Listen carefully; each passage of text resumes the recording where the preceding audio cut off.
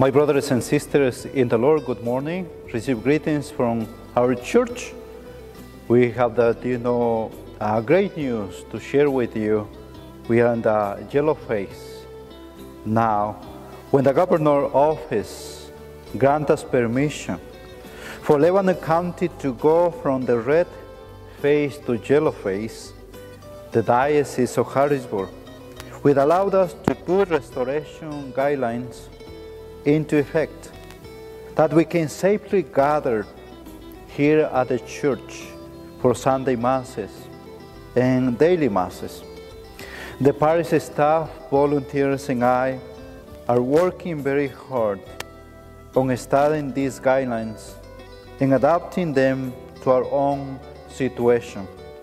Since each parish throughout our diocese are different, we will, we will discuss this issue of sanitation, public safety, as well as the health and vulnerability of all who will gather here in our church. We ask for your prayers and your patience as we work through these guidelines that we can provide a safety and uplifting experience for you. If you want to, uh, to read more about the guidelines, please check the website uh, of the diocese. Highlights of these guidelines are as follows. The diocese strongly recommends that those who are sick, have a compromised immune system, or are considered more vulnerable continue to remain home at this time.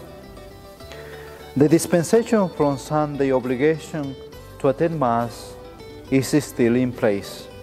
All Masses, live stream Masses, are know, going to continue doing from our churches as we do.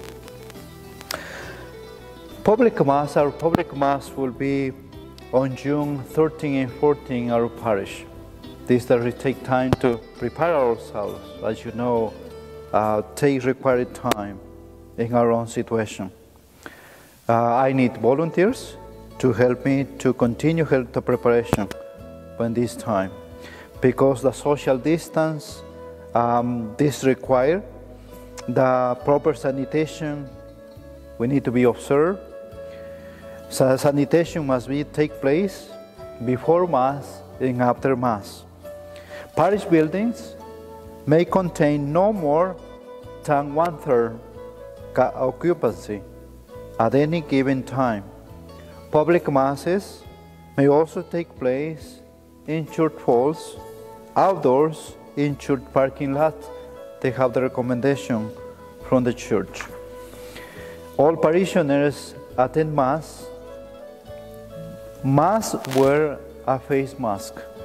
This is important in this time, my brothers and sisters. Mask may only, only this be removed when receiving Holy Communion. Holy Communion will be distributed after Mass. After I do the final blessing or Father John, we can distribute communion those who can receive. We recommend that Holy Communion be received on the hand. This is a recommendation. If somebody wants to receive in the mouth, also can give. Confessions may resume at the pastor's discretion. Think about in your, in your safety, in our safety, safety together the social distance, proper sanitation as follow. I, you know, I think about it important to do the sacrament uh, will be in the place uh, at the entrance of the elevator. There's a, a space there. I can put two chairs, one for the priest, one for the penitent, for the sacredness of the sacrament. Will be, we're going to start the, the confessions, going to start June the 11th, Thursday, will be, I will be hearing confessions from 4 to 6.30 um, at the entrance of the parking lot. On Saturday, confession 3 o'clock in the parish center because the distance, we need to pay attention. Um, Proper sanitation will occur again, you know, after before Mass and after Mass. I need volunteers if somebody want to help me, special Saturday uh, evening. You know, I need people if you want to help us. Please call the office. Just give the name or email us by send the email your name and your contact information.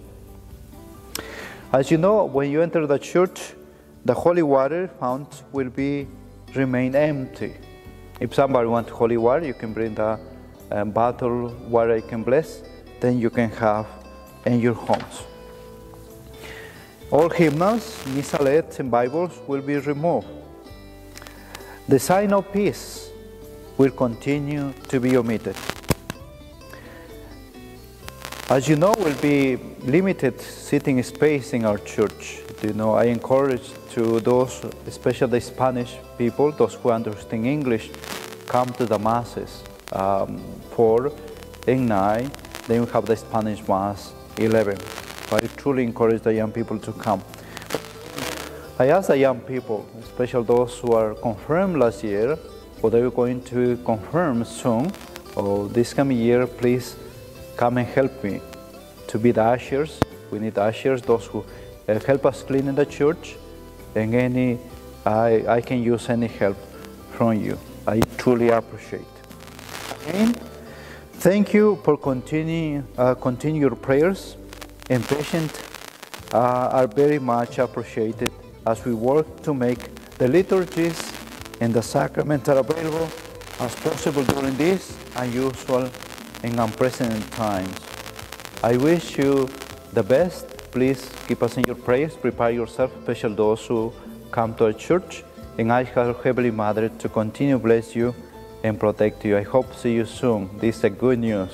Uh, greetings from my heart and from the parish staff and the volunteers. God bless you all. Have a great day.